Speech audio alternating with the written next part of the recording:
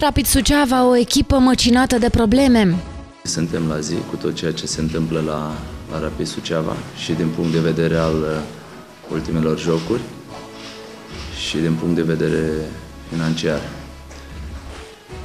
Chiar am văzut pe viu la penultimul lor joc de la Buzău, când au pierdut cu 3-0 și mi-am format o imagine. Am avut uh, și un om trimis acum la Suceava, la egalul cu Târlângeni. Este o echipă care trebuie să-i dăm o importanță foarte mare, pentru că ne interesează foarte mult uh, jocul și cele trei puncte.